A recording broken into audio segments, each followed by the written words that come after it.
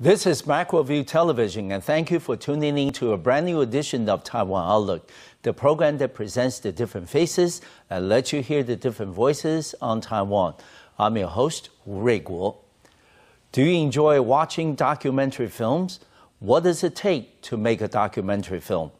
On today's program, we're going to find out because we're delighted to have a true expert on the documentary filmmaking, and he is Mr. Al Go, who's currently the executive producer for Taiwan and China at the National Geographic Channel. Welcome to the program, Al. Thank you, Raymond. Uh, it's a pleasure to be on the program. Well, it's a pleasure to have you on the program, Al. Thank you. First off, can you tell us a little bit about yourself, please? Sure, sure. Uh, I've been in Taiwan for two years. My wife is Taiwanese. Good. Uh, But I was born in Japan. Okay. And I'm half Chinese, half Japanese. Okay. Uh, my father is Malay Chinese. And Good. Um, he went to college in Japan Mm-hmm. and uh, met my mother. And I was born and I moved to the US when I was 13 years old. So I spent half my childhood in Japan, half in, in the US. And uh, after I uh, graduated from college in the US, I went straight to China and spent uh, good 14 years about. Yeah, that's a long uh, time, yes. Yeah, yeah, it's a big place. Yes. Lots to do. Yes, and uh, Al, uh, we understand that you're also very international in terms of your education background, mm-hmm, mm-hmm. because you went to school, like you said, in the U.S. at the age of 13, mm-hmm. and you ended up you know, getting your bachelor's degree from my alma mater, University of California, Berkeley, in East Asian Studies, and then later on you went on to Tsinghua University in Beijing, China, and study Chinese literature. Do you think that the international flavor of your education and your background can certainly be a plus in terms of your subsequent, you know, career choices? Uh, definitely. Yeah. I think um, what my background gives me is an ability to triangulate. Okay. Uh, so I Good. come from different sort of, I can see different perspectives. Mm. Um, I can gauge them and then Okay. try to find a middle ground. All right. Uh, and for me, that's where maybe the truth is and Exactly. the reality. Uh, and so um, it's been it's been a, a very useful sort of um, background and uh, educational Mm-hmm. sort of process. And I think this um, process continues as I learn more about filmmaking. Mm-hmm. And now I've moved on a little bit more to teaching others, and I try to um, pass that. Um, ability or how can I put it? Mm, maybe Expertise. expertise Yeah. or Uh, um, knowledge. that sort of sense Yes. of how to look at things. I, right. I think that's what documentaries boil down to. All right. Let me ask you something generic. And uh, in your opinion, and based on your years of you know experience as a you know filmmaker, what does it take? What are the qualities you deem necessary to be a you know successful documentary filmmaker? I think um, first and foremost, I think curiosity. All right. Um, you've got to be uh, curious about what's around you in this world, Mm. Okay. and not take things for what they are. Okay. Uh, it may seem one day uh, one way, Mm-hmm. but you have the drive to dig and find stuff out that actually, you know, makes things tick. Um, Okay. And so that's, I think, the most basic, fundamental sort of drive for filmmakers, Exactly. especially in documentaries. Okay. And uh, at one point, after you graduated from Tsinghua University in Beijing, that you started working for Reuters Video News. And uh, can you tell us a little bit why, you know, based on the, you know, uh, sociological and the literature background that you study in, you know, university and graduate school, that you decided to join a, you know, news organization? Actually, it was a, um, it was a fluke. Um, I had no intention of um, joining news. Often, people Okay. in this industry um, stumble upon this, Okay. you know, profession or career. And so, um, I was doing uh, graduate studies in Tsinghua, and Yes. one of my classmates. Uh, had a friend who was working at Reuters, Okay. and it just happened that there was an internship there. And so I thought, oh, that's interesting. Maybe I'll go and give it a try because I'm in China. I've been, I've always been interested in China, um, and it would provide me a new way of looking at things. And so um, I went, and I thought, you know, it was going to be this big uh, job interview, and um, you know, I wore my tie, went in, saw the boss, and they spoke to me a few words, and they said, "Okay, you could start coming next week." Yes. Yeah. Okay. And I thought, "Oh, is that it?" Okay. And um, that's how it started, basically. Okay. And did you think that experience, because you were there all the way to 2003, and then did you think that experience helped you in your subsequent career choices? Yeah, definitely. I think um, China expanded and developed very l- rapidly during that period of time, and so um, news. I think um, you know you have to look at a lot of different topics, and you have to cover a lot of um, different things, and so it gave me a very good foundation. Subsequently, when I moved on to long form films, Of course. uh, to have a, a, a, a the breadth, Okay. so to speak, right. um, understanding about China. All right. But uh, given the fact that uh, news, you know, stories are generally fast-paced, you know, you need to cover something right away and get it sent, you know, sent out, and uh, it's a little different from you know making the subsequent like the documentary films that you made. And uh, did you think that the two trainings were actually compatible? you know, and complementary to each other, or is it that one thing maybe help you prepare for the subsequent, you know, career choices that you made, but not just, you know, not necessarily helpful in mm-hmm. terms of getting you ready mm-hmm. for the next job? What do you think? I think news actually helped me a lot because Good. uh, you have to first understand the five W's who, when, where, why, what. Okay. And so in documentary, those are the basic building blocks as well. Okay. Uh, and first you understand them, and then you start to spin your story. Okay. And then you go into your storytelling. Okay, how do we tell the story? Characters, uh, story arcs, so on and so forth. But uh, news provided me a very good um, foundation to understand things quickly and in a thorough way. Okay. And then, so that became the foundation, and then I built the storytelling on top of it Cool. um, in my documentary filmmaking. Good. And Al, you have been with the National Geographic Channel for some years. You are now the executive producer for Taiwan and China. What is your mission and your experience so far at the National Geographic Channel?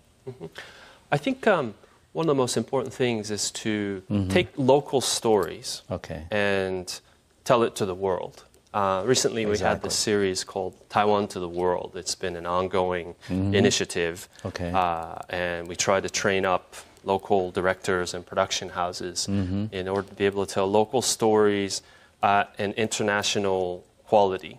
Uh, and so, um, yeah, that's, I think, one of our biggest missions because we feel that um, humans everywhere live under different circumstances. Uh, for instance, in, uh, in Middle East or U.S., Europe, Taiwan, China.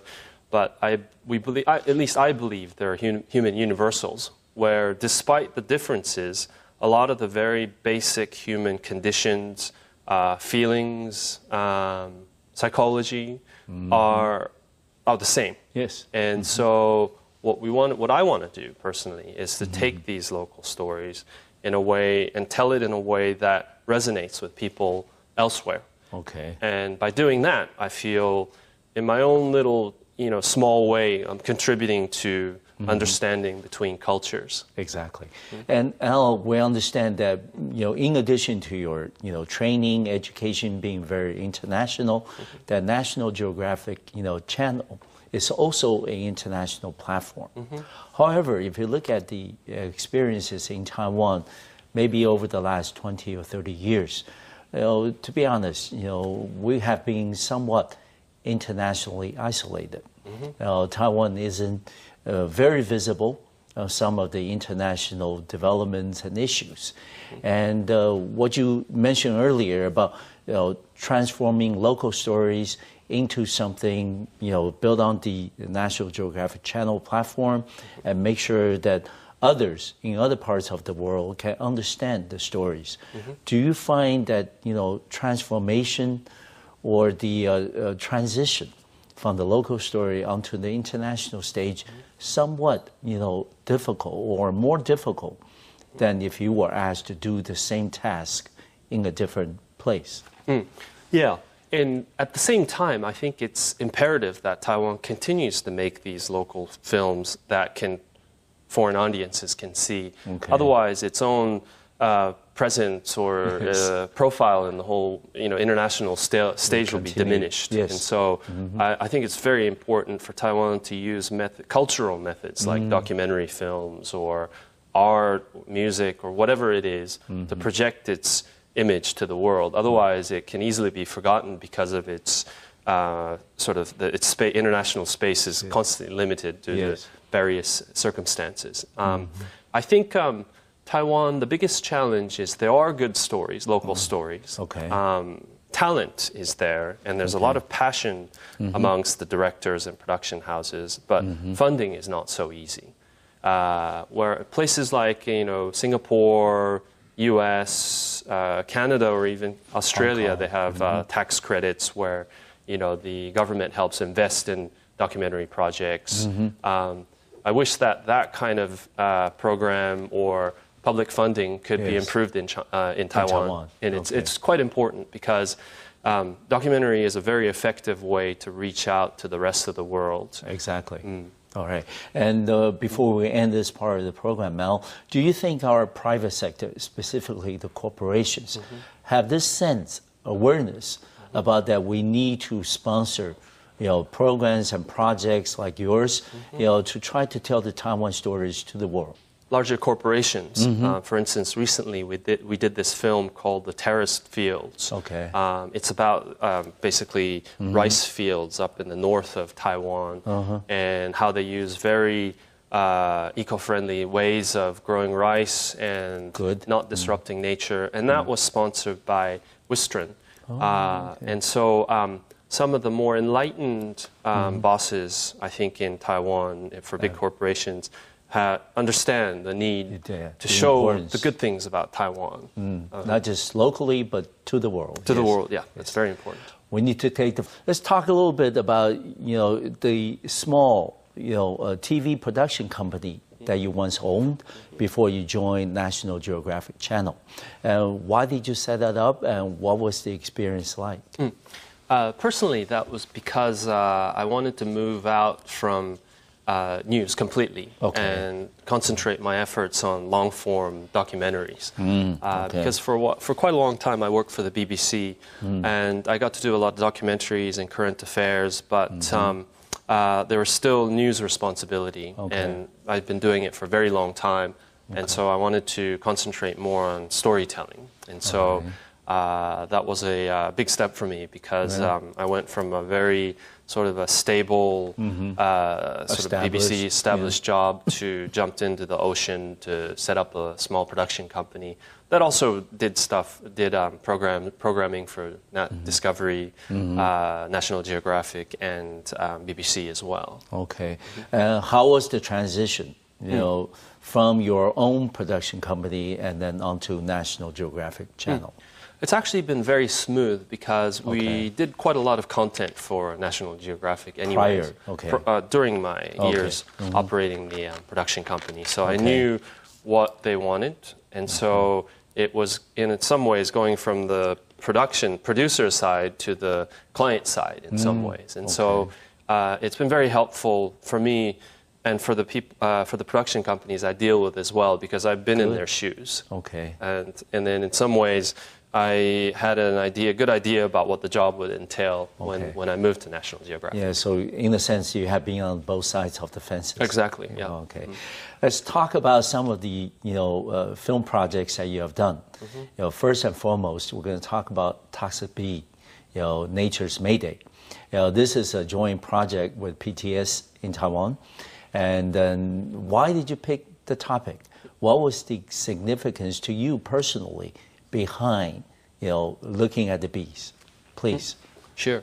Uh, originally, um, this uh, CCD, colony collapse disorder, Okay. uh, materialized uh, in about 2006, the mid 2000s, and it Okay. created a big sensation because suddenly, you know, overnight, I mean, millions of bees were dying, and what's going to happen to the world because bees pollinate more than maybe about 40% of all crops. So, Okay. What, what happens if they all died? Uh, and you know how how are the how is the human race going to cope Yeah, respond. Yeah. respond to the, this uh, big threat. And so, um, in the very beginning, there were quite a few films that were made on it. Uh, but somehow we began to forget about it. Um, it seemed like life was going on as normal, and we still got our food, and we human race wasn't getting too affected. Oh, uh-huh. But um, just recently, um, Harvard professor, Alex Lu, uh, he uh, came up with a groundbreaking um, study linking the use of a per- certain kind of pesticide to, uh, to the massive death uh, or CCD. Okay. Uh, and so uh, we thought this would be a new sort of beginning for this issue. Um, and it was, a, com- it was a new way of thinking. It was actually, the hum- humans were actually doing this onto nature. Okay. And then it came a full circle and it was coming back to haunt us as human beings. Okay. Uh, and so we tried to take a fresh look at it. Uh, We thought this, um, uh, this study was very interesting, and we needed to pick the issue back up and let the public know actually this issue hasn't gone away. We need to continue to think about it because it's actually bees are very effective uh, detectors in nature. So they go everywhere, they fly, and wherever that you can find them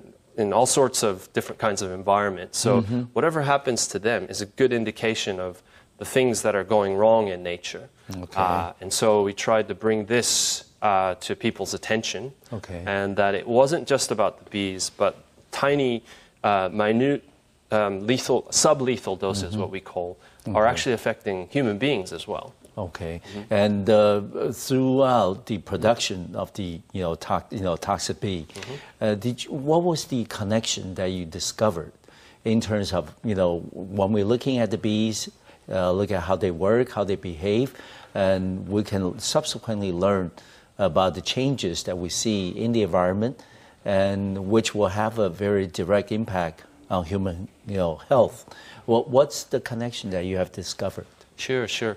I think um, since the Second World War, the chemical industry has created a lot of new forms of pesticides, herbicides, and Yes. they become more and more effective and less and less toxic. Okay. And so before, if you sprayed, you know, the fields, the insects or pests or whatever would die right away. Okay. Um, but now it happens in a more piecemeal, slow, slower fashion where they, uh, the chemicals build up.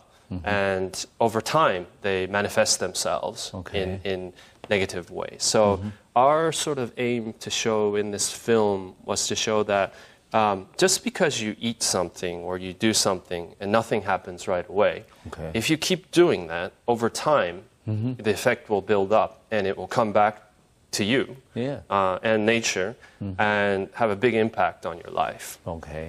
And uh, we understand this has been a very successful project because, in addition to the reviews, the positive reviews you have received, you have been recognized in many of the leading awards and recognitions. Uh, in the film industry, including the 2015 New York Festival, you know, for the uh, World Gold you know, Medal uh, recognition, and also in 2014 the Jackson, you know, Jackson Hole, you know, Wildlife Film Festival, and uh, this is not easy. You know, Al, you know, it's also a big credit to you and your production team. And let me ask you, what do all these awards and recognitions and honors uh, mean to you? I think um, there are a lot of good films out there. Um, and just by virtue of sheer volume, um, you know, things get forgotten. Good films get forgotten. And what the awards do for the film and for me in certain ways, by extension, is that, um, you know, people can remember it. And they can, more, more importantly, not the, remember the issues that we tried to reach Okay. in the films. Good. And so um, I'm very gratified that you know we were able to receive these recognitions, uh, and I think I hope that as a result of it, more people could watch it, and the people who watch it will remember it better, so that they can maybe use some of the knowledge, apply that, apply it to their daily lives, or Okay.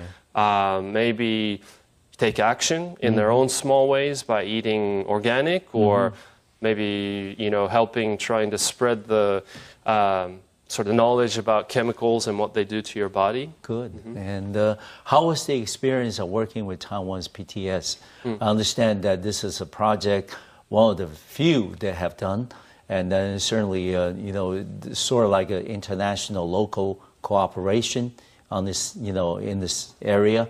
And uh, what what is the experience like? Uh, it was very good, uh, very very positive one. Um, Okay.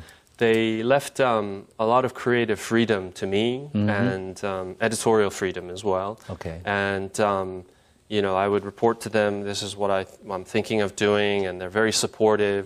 Uh, the whole sort of U.S. trip as well. Okay. Um, basically, I brought it to them during the during the research stage, and Mm, okay. they uh, they said that "Mm, that's very important. We need to support that, Mm-hmm. support your trip because that's a crucial part of of um, trying to get the story. And so, Mm-hmm. um, all in all, they've been very uh, very helpful. And I think right. for PTS as well, uh, it was a big undertaking because normally films that are partly shot overseas, they work with a, a foreign broadcaster, um, and they sort out that end. And you know they film for us, or and then for PTS, and then they you know bring it together. But this was a 100% PTS undertaking to go all the way to the U.S. to the East Coast and run around in the U.S. and trying to find things. Uh, and so, um, yeah, I think it was a Overall, very positive. Definitely, Yes. definitely. Okay. And finally, before we end this part of the program, in the process of cooperating with the local team, mostly you know from the PTS, uh, did you find there are areas maybe that in the future, you know, by based on the pattern and the experience that you have accumulated, that you are able to you know improve upon? You know, for example, maybe for some of the local you know team members to get a better taste and experience about what the international audiences are looking for. Mm-hmm. And conversely, maybe for the international team or the you know the marketplace to understand that hey, we do have quality you know stories, people, you know staff, and also support you know to undertake such a you know you know scale, such a you know huge project, and that can make Taiwan and then also PTS in the process visible on the international stage. What do you think? Sure. I think um, part of the the whole purpose of doing things um, because I'm a foreigner, Mm-hmm. and then the, for them to hire me as an, a director to work with them is um, knowledge transfer.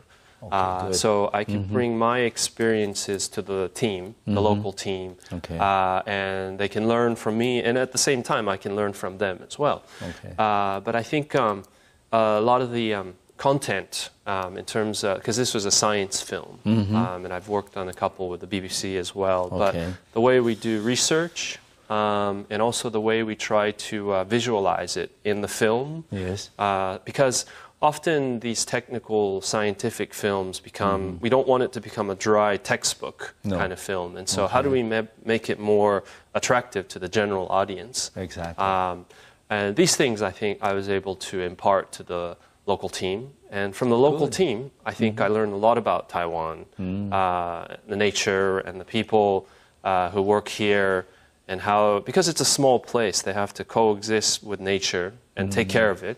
Um, and that, that kind of uh, spirit and passion, I think I, I was able to uh, understand Yeah. better. Yeah, I think it's also very important that this sets a very good example for you know in the future anybody who wants to do an international local joint project. Uh, this will be a very good experience in terms of building our confidence for the locals and also building our confidence for the international marketplace. Yes. Now we're talking about you know some of the works that you have done in the past.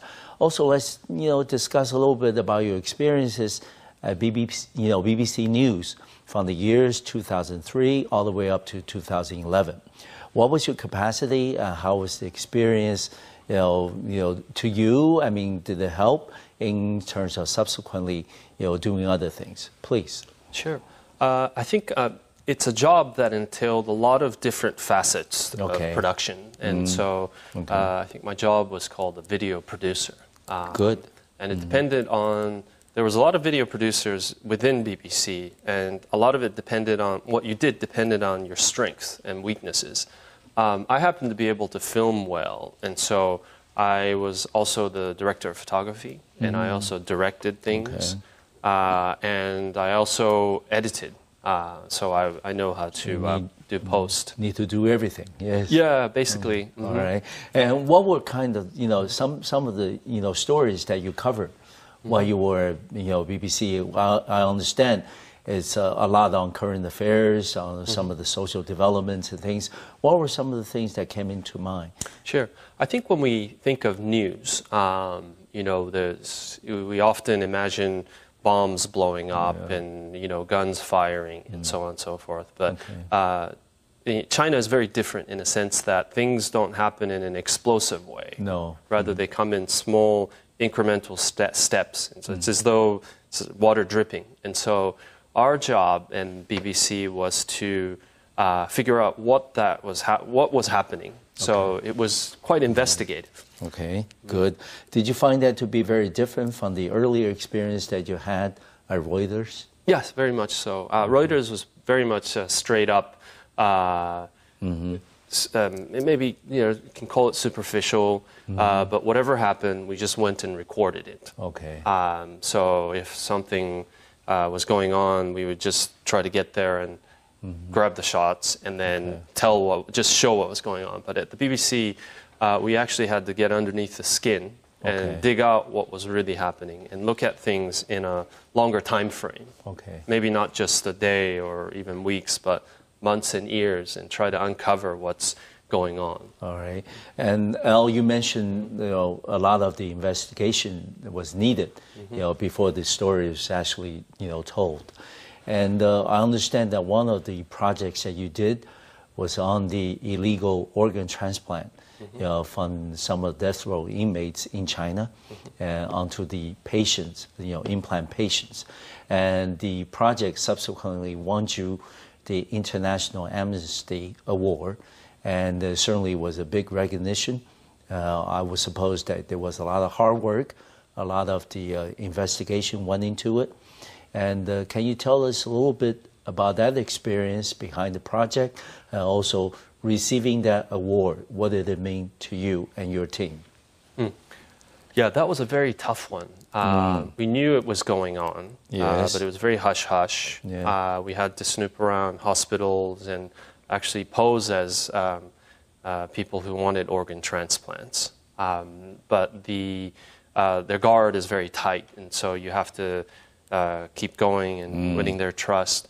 But the shocking thing was it was being done in an industrial scale. So it wasn't just isolated one or two, but it, we're talking Okay. about dozens. Because uh, China executes more prisoners than the rest of the world combined. Yeah. And so there is always a dark side to something that's happening. And this, is, this was one such situation where uh, you know, the organs, especially liver and kidneys, were being taken Yeah. uh, from these prisoners and being sold um, in state sanctioned hospitals. Uh, and it, it kicked up quite a fuss and it um, focused a lot of attention on, you know, the rights of prisoners and Yes. it- by extension, uh, the legal system in China. Is it fair? Is it, are, they, are they, you know, receiving a fair trial? And Due do they actually process. Mm. do due process, and transparency? And so I think um, it cut to a lot of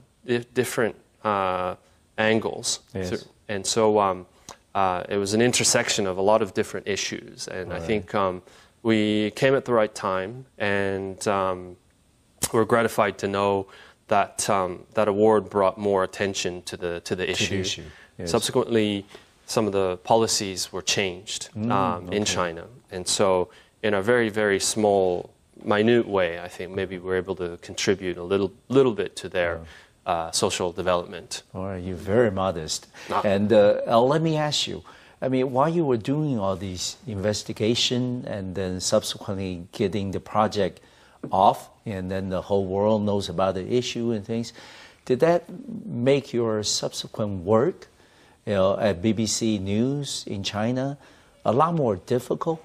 Because uh, you know, people can say, "Hey, this uh, Mr. Go is doing you know some you know uh, investigative work on some of the things that we are you know hush hush about, and then uh, we should be you know paying more attention to what you know Mr. Go and his team are doing next. Did that ever come across as a concern? Yeah, China, I think, is a very interesting place because a lot of Uh-huh. people from the outside look upon the government and the whole system as a monolith. So, Mm. Okay. um, you know, they say they, they see one face Okay. um, of China, but actually within it, there are a lot of different um, government officials, uh, different views amongst politicians. Okay. And so um, they do actually have a, a true desire to make the society better and not just cover things up. Okay, And so um, there's always this push and pull. Um, there are certain elements, I believe, in the government who would like to shut, the, shut us down and Yes. make sure that these stories don't get out. No. But there are more uh, enlightened people in the government who, who understand the need for these things to be covered so that actually improvement can take place. And so, um, yes, uh, there are certain times, politically sensitive times, when we are followed around, our phones were tapped, uh, and you know wherever we went, we had a tail, um, so on and so forth. But um, we always knew that there was a balance, and that they you know, they may try to stop us, but there are also people within the government in China that w- one of these things covered as well. So good. it's um, it's always sort of trying to feel your way through. Exactly. Um, it's not so black and white. No. Okay. Well, at the time, were you married, have a family, and things? I mean, did the family, you know, cons- you know, were they worried about, you know, your well-being? You know, to be honest with you, um, the worst that can happen to a foreign journalist, is get is to get kicked out. Yes. So our risk is fairly limited. Um, good. And may, we may not be able to go back forever, or there are different kinds of sort of ways that they categorize you. Some people can, Okay. after a few years, are allowed back. Some people are exiled forever. Banned forever. Yes. So I, I was more concerned about our staff, local staff in the office, and Precisely. Yes. yeah, I think in the run up to the 2008 Olympics, um, really there, there was an atmosphere where China was freeing up a lot of the, the old restrictions. And um, they really wanted to, in earnest, they wanted improvement and things. There was a lot more press freedom. Um, even local media were able to cover things that in the past, maybe even two They or three years do. before that, couldn't do. Okay. And so um, uh, I think this organ transplant story came just as things were sort of becoming freer. Good. Um, but subsequently, after the Olympics, um, they've tightened up again. And so they come in sort of waves. So they, there's a period of, you know, freedom, and then, and then they tighten up, and then you have to sort of buckle down. Things get harder, and people you want to interview don't, you know, they Don't don't, accept you, your yes. Mhm. invitation, and, and then it comes back. And it, a lot of these, these things come and go. Go through cycles and things. Let's talk a little bit about another project that you did called White Horse Village. Mm-hmm. Uh, that subsequently won you the Peabody and also Emmy Awards. Tell us a little bit about the story and also, uh, again, what the awards mean to you. Yeah, that um, um, it was. I was really lucky to be able to work on that project Okay. because it's a rare sort of opportunity where you can keep going back to your characters in the same place over many years. And um, originally, um, uh, a good friend of mine in the BBC, she's a presenter, um, Carrie Gracie. Um, Okay. We were talking about and uh, a producer from Newsnight, which is one of their uh, current affairs programs. Um, we were chatting about doing a program like this, and it just again, uh, it just happened to fall at the right time and right place. China, in the run up to the Olympics, people are interested, and so the program decided to commit that budget to for us to let us go film film it and keep going back year after year. Okay. Um, and so what we wanted to do was to record. I think um, a lot of the foreign audience have seen Beijing, Shanghai, and the bigger cities and development, and what's happening, but they had a um, you know very little exposure to what was happening in the countryside. And in some way, that was more monumental than what was happening in the cities. So Exactly. we picked a, t- picked a little city, uh, town. Mm-hmm. Um, basically, it was a f- um, farming village. Mm. Uh, but the government had a plan to set that up as a county seat. And so um, they decided to pour a lot of fund, funding and build it up. And and what we, want, we, wanted to, s- we wanted to see how the people lived there against this background, how their lives changed, and we followed a couple characters uh, over the years. And you know, there, there, there were little kids who were maybe this tall, Yes. and then by the time we'd gone back again the last time, 2010, uh, they were already grown up and they were you know going to elementary school. Um, and so, um, yeah, I think that was the success of that film was because it was such a normal situation in China and it was so representative of what was happening Yes. in the countryside. Okay, good. We need. We were talking about some of the projects that you have done in the past, and then I also asked you, you know, earlier, what are some of the qualities that you felt necessary uh, for documentary filmmaker? And uh, besides that, I'm going to ask you also, what do you think are some of the necessary elements, you know, for a successful documentary film to have, know, in addition to the qualities of the documentary director? Please. Sure. I think documentary films are very much a reflection of who you are as, Okay. a, as a filmmaker, your perspectives, um, your values, Okay. and so forth, Okay. so on and so forth. Um, and I think um, you know what you're interested in is very important. As I mentioned before, curiosity, um, digging underneath the surface, trying to find out what's really going on. Yes. Um, and uh, on top of it, you need a passion for storytelling. It's like, how do you tell the story? Um, and it's very much a uh, process of communication and interaction with your uh, characters and subjects in the film. And you have to have uh, an ability to connect with people. Yes. Uh, these are some of, um, some of the most important qualities. Because if your characters in films, even in science films or technical films, they really make or break your film. If your character is boring, then uh, the audience is not going to resonate with them, and Okay. they're going to feel bored, and they might change the channel or stop watching. Um, and so you have to make it uh, alive, and you have you have to develop a sense for it. I think some it's uh, it's something that you you nurture as a filmmaker, uh, and I think um, uh, being able to connect with your audience um, and understanding what they would like to see of this character or about the story, what's useful for them, what's what could provide insight into perhaps their own lives. Okay. Um, and so these are uh, very important qualities. Empathy, I think, is, is quite important. All right. And, uh, you know, in Taiwan, we, we have a lot of, you know, local filmmaking, a lot of TV production and things, but there isn't so much attention paid to documentary, you know, filmmaking in Taiwan. But this is a very international market, also very competitive.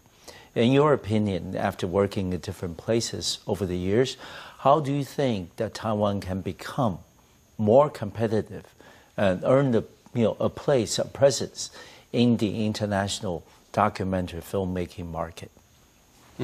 I think um, there's a lot of passion amongst uh, film, local filmmakers here. Good. And sometimes it's a bit, little bit unfocused. Okay. And they think, uh, oh, this is a great story. And then they'll go and follow somebody for three years and continue filming and filming after day after day. Um, and so I think um, it's, uh, it's important for them to understand the purpose of the film. So what are you trying to say? Uh, Don't just follow someone. Is what's so special about them, and then concentrate on those aspects and not film too much. Because if you have too many uh, footage, then it's it's uh, it's really difficult to edit it. Of course. And also um, thinking about the audience. What does the audience take away from your film? You don't want it just to be some uh, an exercise in self-satisfaction. Okay. Um, you need to understand what's useful for them, what provides them insight, perhaps into their own lives by through watching your film. And so these things, from a storytelling perspective, I think need to be addressed by local directors and production companies. Okay. And, and from a funding standpoint, I think um, there are some initiatives, um, and there are also uh, sort of uh, private sort of foundations and also corporations that help underwrite some of these um, documentary films. But it really needs uh, public and, and government support for it to become a um, you know aspect, a strong aspect in in um, television, film, uh, television. All right. And uh, Al, do you think that in order to better nurture the local talents uh, to be involved, engaged in documentary filmmaking, that it would be advisable for them to maybe, for example, take some short-term courses uh, at a different country in the U.S. or in Europe, for example, and also go to some of these international film festivals. You know, be exposed and also get some exposure from others.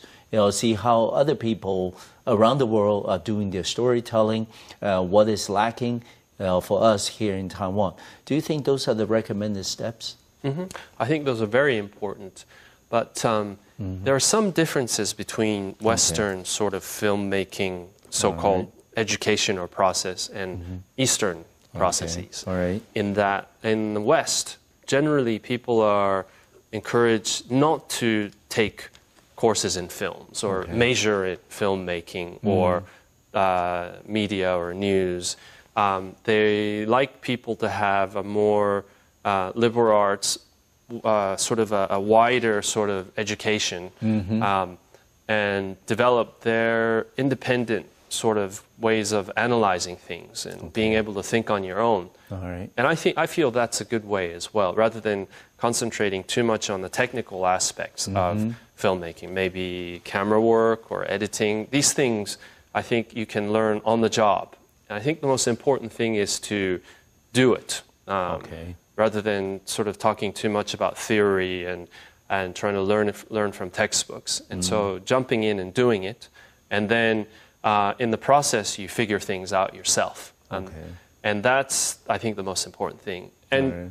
and as an extension of that, I think it's important to um, uh, these film festivals. Yeah. Um, mm-hmm. There's a lot of good films out there. There are forums where you can sit in on and listen to you know mm-hmm. people who've done it before talk about how they dealt with certain scenes or mm. you know situations, including fundraising. Okay. Um, and that can be invaluable experience to local filmmakers. Right. Al, you have had the experience of working with local teams and local members.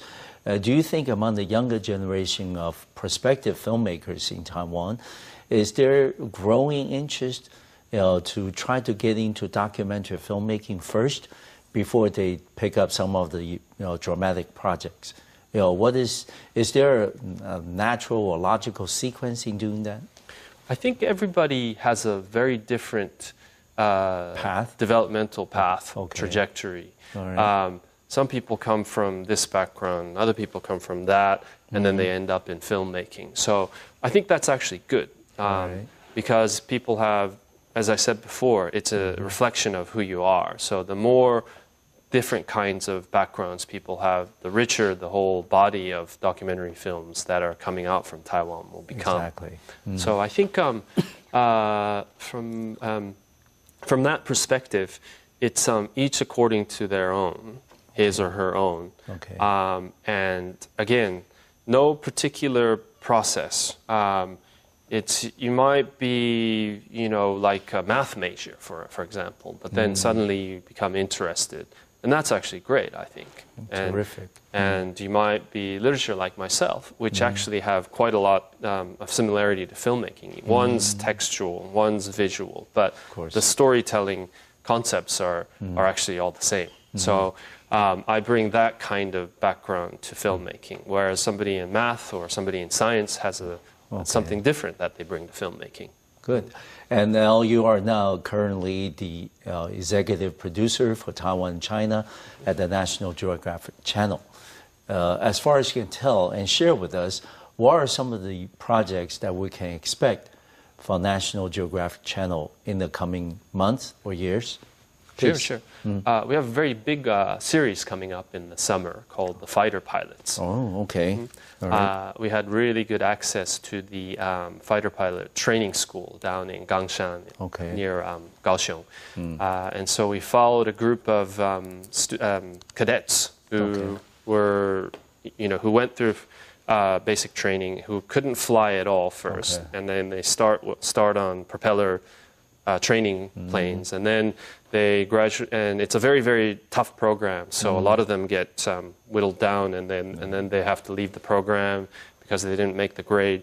And so uh, with it, and then we follow them all the way through to when they change the jet jet fighter training jets, and then they graduate from the school. Okay. Um, and I think um, there's a lot of drama in it, um, and there's a lot of uh, adrenaline, um, Okay. lots of speed, and Okay. and it's a tough world. And how you know Taiwan, uh, from the perspective of Air Force, how they train their uh, you know young uh, sort of up and coming talent to be able to defend Okay. Taiwan. Yeah. And finally, before we end the program today, Al, we understand that you have done, you know, so much and also been recognized so many times for your work in, you know, documentary filmmaking. If I may ask, what's next for you? I mean, are you looking forward to doing more projects in documentary filmmaking, or are we likely to see, you know, you know, doing a dramatic project in the coming, you know, few years? Mm-hmm. I think there's generally a uh, sort of conversion between drama and documentary because in documentary films, if we do a historical documentary films, we're not able to film what happened in the past, so we No. do a lot of reenactments. And so uh, documentary is taking on a lot of the elements of, of drama as well. And Good. so uh, right. there's, there's a general sort of convergence. And so it could be a natural progression of things. Um, and there are new genres called docudramas. Oh, and so uh, right. it's sort of like what I just mentioned in a way that um, uh, we try to reenact and tell the story, uh, you know, factual programming or factual stories in a dramatic way. Good. And that's, it's, uh, it's a All new, new genre that's catching on. It's truly been a delight to have you on the program today, Al. I certainly want to wish you all the best in your professional and personal endeavors in the future. Thank you. Thank you. Thank you very much. All right. Mm. Thank you for watching our program today. I'll see you next time on Macroview Television. Thank you.